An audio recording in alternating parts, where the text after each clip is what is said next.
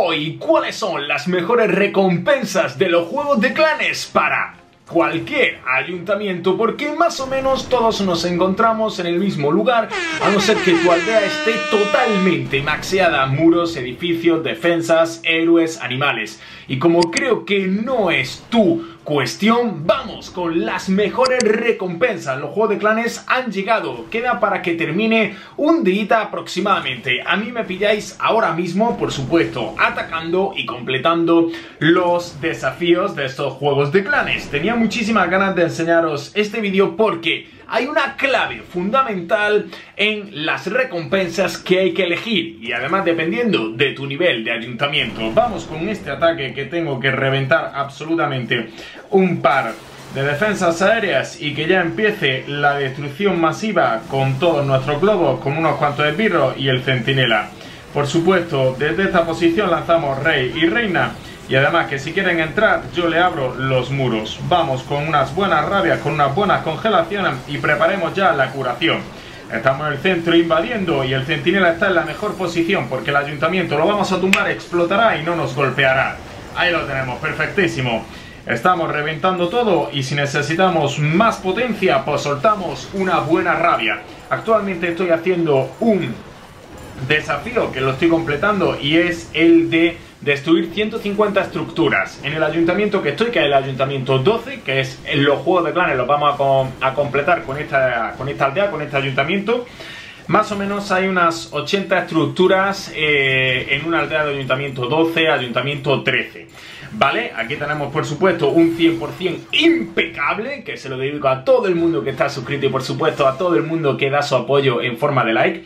Aquí tenemos un botinazo increíble y, chicos y chicas, fijaros, 91. 91 son las estructuras que hay en un ayuntamiento 12. Vale, voy a volver a atacar, tengo en la tesorería algunas cositas interesantes. Quiero un botinazo y os voy a enseñar qué elegiría yo fuera el ayuntamiento que fuera. Ayuntamiento 8, 9, 10, 11, 12, 13, 14 y 15. ¿Por qué hay diferencias, ¿vale? No es lo mismo un ayuntamiento 8 para su juego de clanes que un ayuntamiento 14. Por supuesto, aquí estáis viendo todas las recompensas y ahora vamos a explicar cuáles son las mejores. Por supuesto, el primer consejo que tengo que daros, y es prácticamente que, que debéis hacerlo, es llegar a los 4000 puntos del juego de clanes. Si no tenéis tiempo, pues con hacer simplemente un desafío, un juego de clan, ya eh, podéis reclamar todas las columnas que tu clan desbloquee. Ahora vamos a ir con ello porque esto os va a gustar. A mí personalmente me gusta, me gusta bastante porque si tu clan es activo como el mío, ¿vale? Eh, con, unos, con unos que jueguen, pues yo que sé, si juegan por ejemplo 20 personas y cada persona hace sus 4.000 puntos, es que ya has llegado súper lejos, has completado todas las columnas. Y más en estos juegos de clanes los juegos de clanes de abril 2023 tienen 6 columnas, algunas veces los juegos de clanes son especiales y tienen 7 columnas que tienes que llegar a los 75.000 puntos o más. Hoy tenemos unos juegos de clanes normalitos, así que con 6 columnas y 50.000 puntos los vais a conseguir. Fuera del muro, efectivamente, fijaros qué bonito, pones el rey fuera y la reina sale. Una vez limpiada la zona de arriba, vamos con unos dragones bastante chip por supuesto, todos los dragones bien juntitos eh, a las 12 para que caigan en la aldea de una manera inmersiva y no fallar en el ataque, porque si se empiezan a abrir es, un ataque que vas a, vas a perderlo, ¿vale? Como ve que tiene torre infernal en un solo objetivo, voy a enganchar desde aquí arriba ya algunos, algunos globos, le pongo las rabias y preparamos con mucho cuidadito las congelaciones que van en esta posición. Fijaros que congelo el centinela, la torre infernal y por, supuesto el ayuntamiento que ya estaba activado. Otra rabia, le doy a la habilidad del centinela, le doy también, no, a la habilidad del rey, me muero, no hace falta, tumbamos el ayuntamiento, tenemos la reina activa, que de aquí a poco se pone con la ballesta, quiero eliminarla rápido, así que le doy a la habilidad y aquí lo tenemos. Con este ataque hemos completado un juego de clan, que creo que eran 300 puntos, y os voy a dar consejos también para completar los juegos de clan muy, muy rápido. La velocidad de la luz. En dos horas poder llegar a los 4.000 puntos. Vale, aquí tenemos el desafío, eran 150 puntitos de nada, pero aquí, por ejemplo, tenemos uno de 600. 4 megatorres Teslas destruidas. Es muy sencillo irte a la, a la aldea nocturna, ¿vale? Y destruir 4 megatorres Teslas, ¿vale? Yo, por ejemplo, ni siquiera tengo la megatorre Tesla. Debería de construirla de aquí a, de aquí a poco, ahora que, ahora que lo pienso. Destruyes 4 y ya está. Y está muy chulo porque aquí no tienes que esperar a que se entrenen las tropas, no tienes que buscar aldea hay bastantes beneficios que son muy interesantes para los juegos de clanes. Bien, una vez explicado esto, vamos con las recompensas. Fijaros que en mi clan hay mucha gente que ya ha llegado a las 4.000 y solo necesita, vamos, 50.000 puntos y vamos por los 63.000, quedando aún 4 días para que se completen los juegos.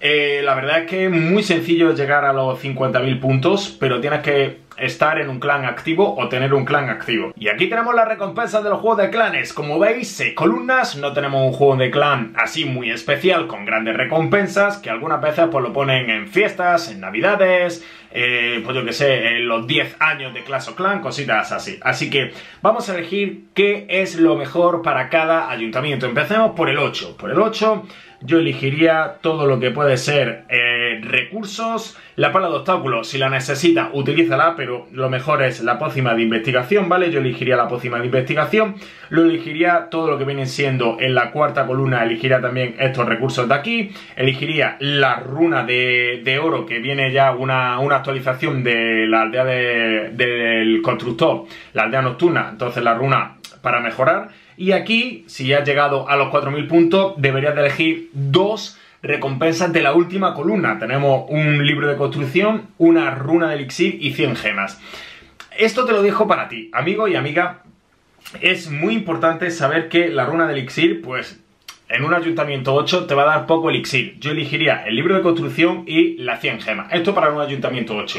Vamos con el ayuntamiento 9. Ya empiezas a tener recolectores, minas, extractores a un nivel bastante importante. Por lo cual, aquí tenemos pócima de entrenamiento. Yo la cogería para poder atacar a esas aldeas que ya tienen un nivel interesante de recurso, como estaba diciendo. Cuanto más ataques, más podrás robar. Luego tenemos aquí la pócima heroica. Cuando llegues ya a niveles 10, niveles 11 de ayuntamiento, la pócima heroica pues te sube 5 niveles tus héroes. Si estás en un ayuntamiento 8, ya habéis visto que no la he recomendado porque ¿para qué vas a subir tu rey 5 niveles? Para eso esperar a ser, por ejemplo, un ayuntamiento 12 con centinela, reina, rey y subes 5 niveles, que en total son 15. Y si te esperas al siguiente ayuntamiento donde ya desbloqueas la luchadora real, subirías 20 niveles los héroes. 5 cada uno son 20 más. Entonces es bastante interesante las pócimas heroicas.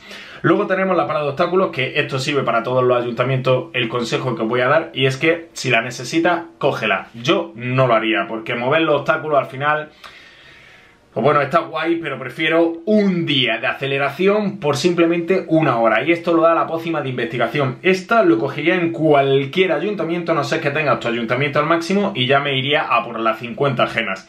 Luego, por supuesto, la pócima, super pócima, la pócima que te habilita una super tropa yo no la cogería, por eso tengo 5 de 5, es que ni la utilizo. Y luego los 6 anillos de muros. Los 6 anillos de muros los recomendaría en un ayuntamiento que podría ser el ayuntamiento 12, 13, 14 y 15.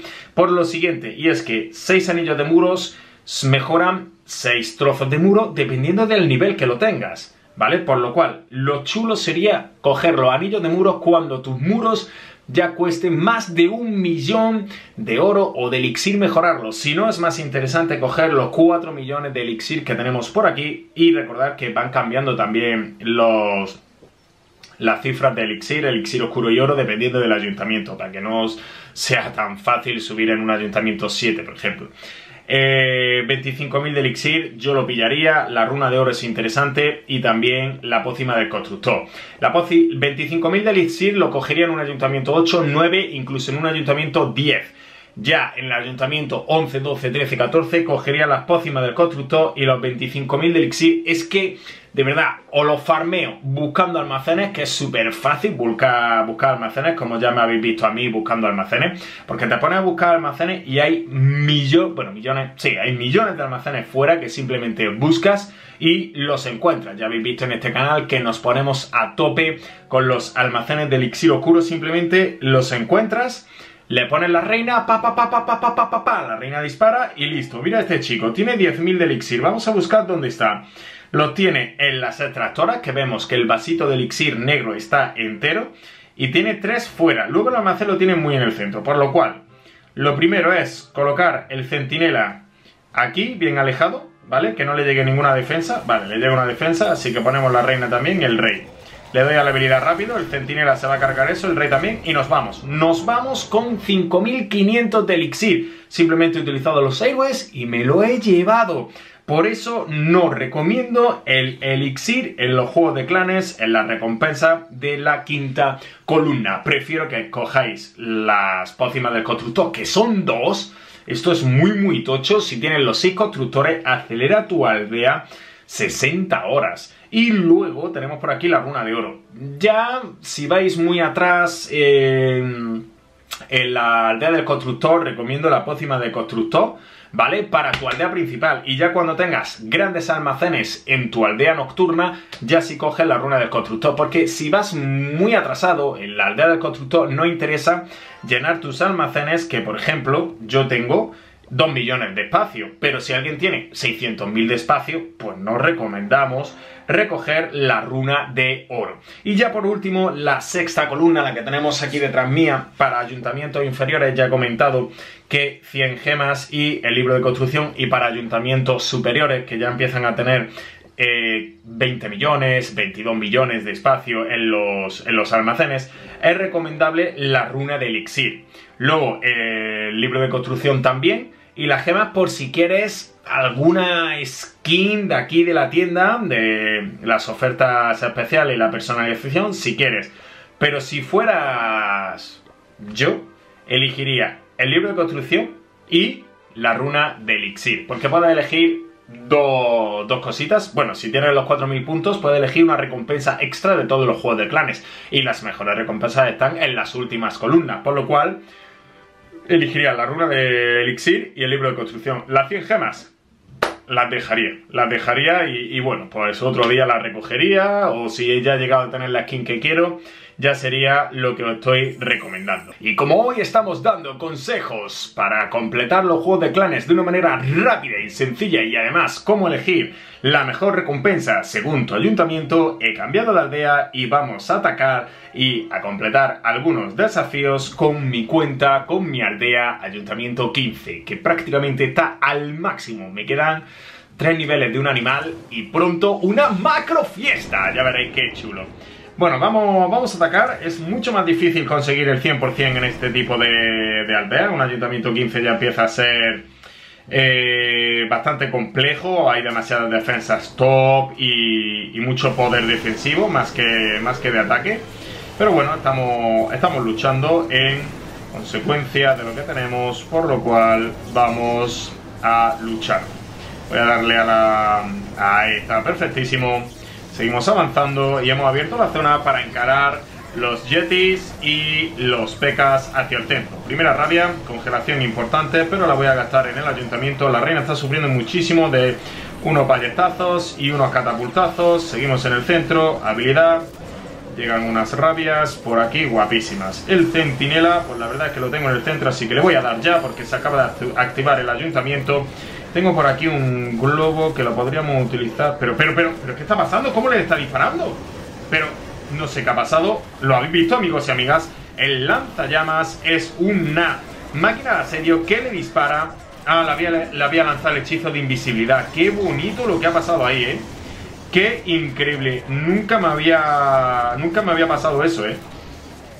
Nunca me había pasado eso porque resulta que eh, el hechizo de invisibilidad había invisibilizado el cañón, ¿vale? Había una torre de hechizos que lanzan hechizos, eso pasa en el Ayuntamiento 15, y había invisibilizado el cañón. Entonces mi lanzallamas, que solo dispara las defensas, ha pasado de ese cañón, se ha ido a por otra defensa y ya habéis visto lo que ha sucedido. Y es que el cañón ha podido disparar al lanzallamas porque estaba muy cerca. Y las únicas defensas que disparan al lanzallamas porque tienen un larguísimo alcance son el mortero, la ballesta y el monolito en el ayuntamiento 15.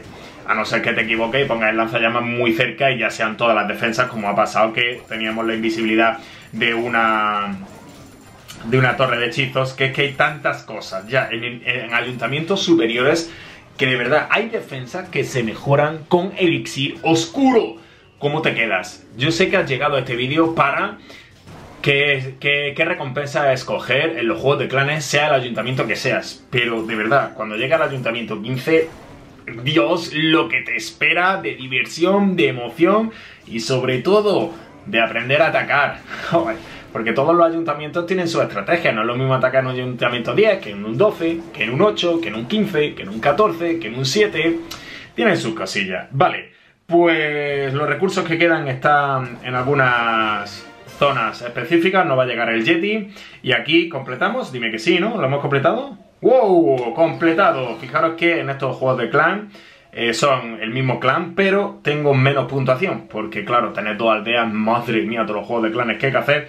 De todas maneras, recordar, en la aldea nocturna se hacen los juegos de clanes muy muy rápido, y si no tienes ningún desafío que te guste, pues mira, puedes coger este, lo empiezas, lo desechas y ya llega otro del tirón. ¿Habéis visto? Ya ha llegado este, lo puedes recoger en 10 minutos te va, pues yo qué sé, te juega una al Brawl o ve un vídeo de Aniquilo y ya te coges por aquí otro, otro desafío porque no había ninguno que te gustaba. Simplemente elimina desafíos si quieres que te salgan nuevos desafíos. Y estos son todos mis consejos para los juegos de clanes. Espero que te hayan servido. Recuerda compartirlo con tu clan en WhatsApp, en Discord, en Telegram, en, en Facebook, donde sea. Te quiero, compañero. Nos vemos en el próximo vídeo porque soy Aniquilo y prometo hacerlo. Vídeo diario de Clash of clar!